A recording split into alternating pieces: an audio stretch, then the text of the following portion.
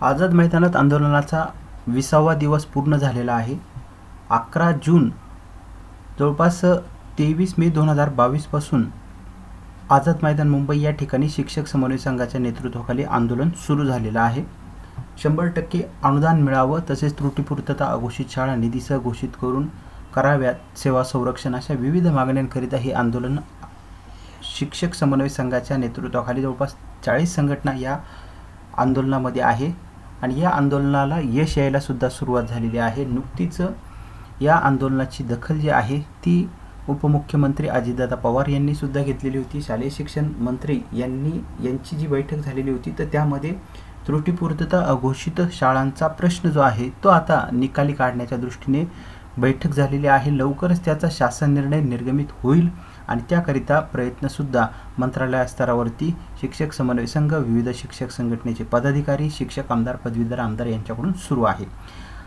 आझाद मैदानात आझाद मैदान मुंबई या ठिकाणी सुरू असलेल्या आंदोलनाला गर्दीसुद्धा खूप आता वाढत आहे. कारण आता एकच फक्त महत्त्वाची मागणी त्यामध्ये शिल्लक राहिलेली आहे ती म्हणजे शंभर टक्के अनुदान प्रचलित धोरणाची. प्रचलित धोरण लागू करायचं. प्रचलित धोरण ही त्रुटीपूर्तता अघोषित शाळा वीस टक्के चाळीस टक्के अनुदानावरील सर्व शिक्षकांना लागू करण्याकरिता आझाद मैदान मुंबई या ठिकाणी हा लढा उभारला जात आहे. आणि निश्चितच हा लढा जो आहे तो शंभर टक्के अनुदान घेतल्याशिवाय त्या ठिकाणावर माघार घेतली जाणार नाही असा ठाम निश्चय जो आहे तो शिक्षक समन्वयकांनी केलेला आहे. आणि त्यामुळं आता या आंदोलनाकडं संपूर्ण महाराष्ट्राचं लक्ष लागलेलं आहे. शिक्षकांची संख्यासुद्धा आझाद मैदान मुंबई या ठिकाणी आता वाढायला सुरुवात झालेली आहे.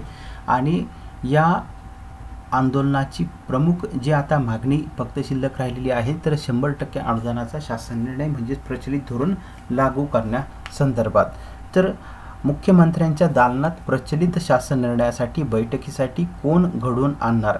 म्हणजे ही जी मुख्यमंत्र्यांच्या दालनात प्रचलित शासन निर्णयाची जी बैठक आहे ती कोण कोण कोणते कोणते व्यक्ती कोणते कोणते आमदार कोणते कोणते शिक्षक आमदार पदवीधर आमदार कोणते कोणते शिक्षक संघटनेचे पदाधिकारी ही बैठक घडून आणू शकतात. तर त्याविषयी आपण थोडक्यात जो वृत्तांत शिक्षकांकडून येत आहे शिक्षक आमदार पदवीधर आमदार मंत्रालय स्तरातून येत आहे तर त्याची थोडक्यात माहिती या ठिकाणी आपण बघणार आहोत. नुकतंच बघितलं आपण उपमुख्यमंत्री अजितदादा पवार यांच्यासमवेत शालेय शिक्षण मंत्री प्राध्यापिका वर्षाताई गायकवाड यांची बैठक संपन्न झालेली होती आणि या बैठकीमध्ये उपमुख्यमंत्री अजितदादा पवार यांनी एका बैठकीमध्येच शिक्षकांचे जे महत्त्वाच्या अनुदानाच्या संदर्भातील प्रश्न होते ते एका बैठकीमध्येच सोडवलेले आहेत. आणि त्यामुळे निश्चितच जो एक महत्त्वाचा फक्त आता विषय राहिलेला आहे शंभर टक्के अनुदानाचा म्हणजेच प्रचलित धोरण लागू करून घेण्याचा. तर तो प्रश्नसुद्धा उपमुख्यमंत्री अजितदादा पवार यांनी निश्चितच सोडवला असता मात्र सभागृहामध्ये त्या संदर्भात मुख्यमंत्र्यांसमवेत हा ही जो प्रश्न आहे तो प्रश्न बैठक घेऊन सोडवण्यात येईल असं वृत्त इतिवृत्त झाल्यामुळं उपमुख्यमंत्री अजितदादा पवार यांनी सुद्धा सांगितलेलं आहे का? हे इतिवृत्त झालेलं आहे आणि त्यामुळं निश्चितच मुख्यमंत्र्यांच्या अनुपस्थितीत आपण त्या विषयावरती चर्चा करणं म्हणजे तो हक्कभंग होऊ शकतो. तर त्यामुळं आपण हा जो प्रश्न आहे तो मुख्यमंत्र्यांसोबत बैठक घेऊन सोडवू.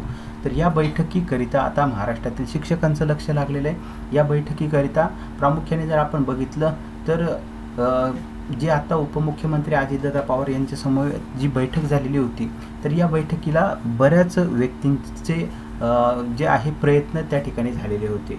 मग त्यामध्ये शिक्षक आमदार पदवीधर आमदार विविध शिक्षक संघटनेचे पदाधिकारी असतील शालेय शिक्षण मंत्री मंत्रालयातील कर्मचारी असतील पी ए असतील तसेच या ठिकाणी स्वतः प्रकाशजी सोनवणे सर यांनीसुद्धा शालेय शिक्षण मंत्री प्राध्यापिका वर्षताई गायकवाड शिर्डी या ठिकाणी असताना त्यांनी शिक्षकांच्या आंदोलनाची माहिती त्या ठिकाणी दिलेली होती आणि त्यावेळेस उप ज्या शालेय शिक्षण मंत्री आहेत त्यांनी सांगितलं की उपमुख्यमंत्र्यांसमवेत आम्ही पुढच्या आठवड्यामध्ये बैठकी घेणार आहोत. तर त्या दृष्टीने आपलं जर बघितलं तर निश्चितच प्रकाशजी सोनवणे सर हे शिक्षकांकरिता नेहमी लढवय ठरलेले आहे.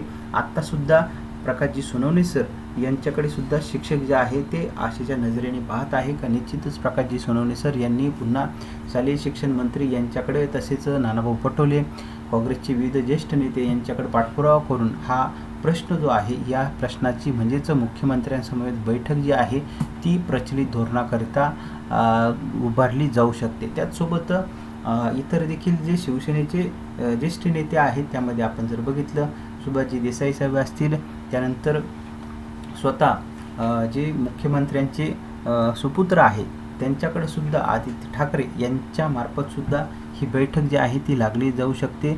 अभ्यंकर साहेब असतील शिवसेनेचे ज्येष्ठ नेते आहे तर त्यांच्यामार्फत सुद्धा ही बैठक जी आहे ती येत्या काळामध्ये उभारली जाऊ शकते. भ ही बैठक शिक्षकांची शंभर टक्के अनुदानाच्या संदर्भात प्रचलित संदर्भात ही बैठक होऊ शकते.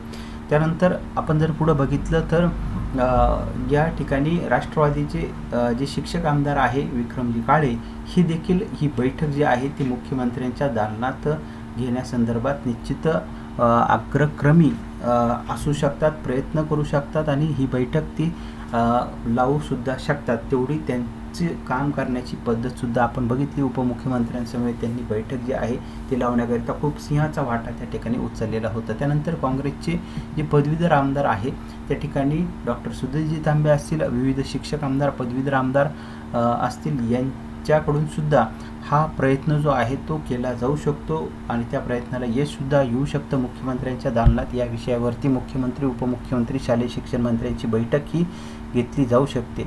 तसेच जे शिक्षक आमदार महोदय आहेत त्यामध्ये प्रामुख्याने पा पाटील साहेब असतील तसेच इतर देखील जे शिक्षक आमदार आहे यांच्यामार्फतसुद्धा पदवीधर आमदार जे आहे तर सर्व यांच्यामार्फतसुद्धा ही बैठक येत्या काळामध्ये लागली जाऊ शकते.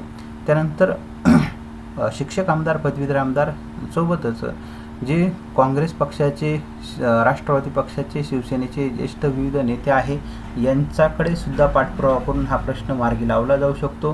विविध कॅबिनेट दर्जाचे मंत्री आहे मग त्यामध्ये स्वतः काँग्रेसचे जर आपण बघितलं तर काँग्रेसचे ज्येष्ठ नेते नानाभाऊ पटोले असतील बाळासाहेब थोरात असतील यांच्याकडून सुद्धा हा प्रश्न निकाली लावण्याकरिता प्रश्न सोडवण्याकरिता मुख्यमंत्र्यांसमवेत बैठक घेण्याकरिता पाठपुरावा निश्चित हा केला जाऊ शकतो. बैठक ही लावली जाऊ शकते. तसेच राष्ट्रवादीचे जे ज्येष्ठ नेते आहे जलसंपदा मंत्री जयंत पाटील स्वतः उपमुख्यमंत्री अजितदादा पवार यांच्यामार्फत स्वतः विक्रमजी काळे जे शिक्षक आमदार आहे यांच्याकडे सुद्धा एका आशेचे नग आशेच्या नजरेने जे आहे ते बघितलं जात आहे का हे बैठक जे आहे ते लावू शकतात मुख्यमंत्र्यांसमवेत. शिवसेनेचे ज्येष्ठ नेते आपण बघितलेलं होतं आदित्य ठाकरे त्यानंतर देसाई साहेब असतील शिंदेसाहेब असतील यांच्यामार्फतसुद्धा ही बैठक नीलम गोरेताई असतील यांच्यामार्फतसुद्धा ही बैठक जी आहे ती लावली जाऊ शकते. विरोधी पक्षामधील जे प्रवीण दरेकर साहेब असतील यांच्या यांनीसुद्धा सांगितलेलं होतं की आम्ही दोन ते तीन दिवसामध्ये काही दिवसामध्ये ही बैठक लावू पण त्यानंतर राज्यसभेची निवडणूक त्या ठिकाणी होती. आता ही निवडणूकसुद्धा संपलेली आहे.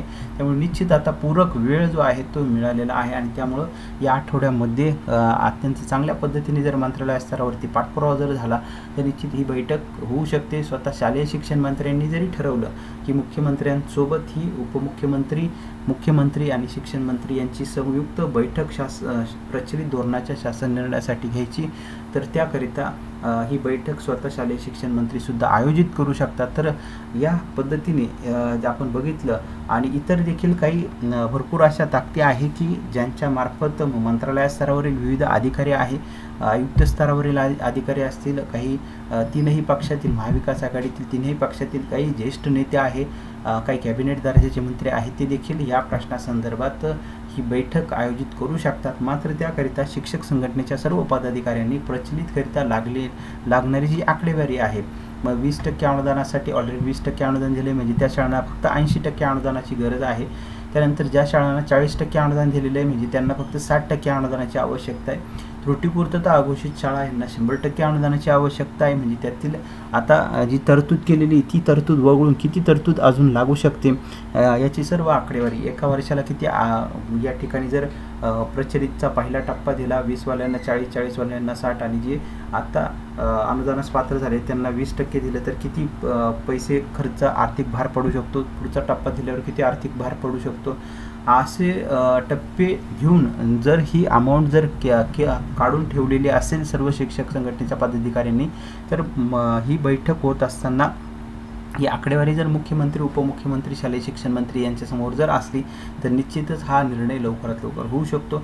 कारण मंत्रालय स्तरावरील जे अधिकारी आहेत ती आकडेवारी खूप जास्त फुगवून सांगतात आणि त्यामुळं तो शासन निर्णय जो आहे तो होण्यामध्ये अडथळे निर्माण होत असतात. तर त्याकरिता सर्व शिक्षक संघटनेचे जे पदाधिकारी असतील शिक्षक समन्वयक असतील विविध शिक्षक आमदार पदवीधर आमदार असतील यांनी ही आकडेवारी घेऊनच या बैठकीला गेलं तर निश्चित अपेक्षित निर्णय होऊ शकतो असं सर्वसामान्य शिक्षकांना वाटत आहे.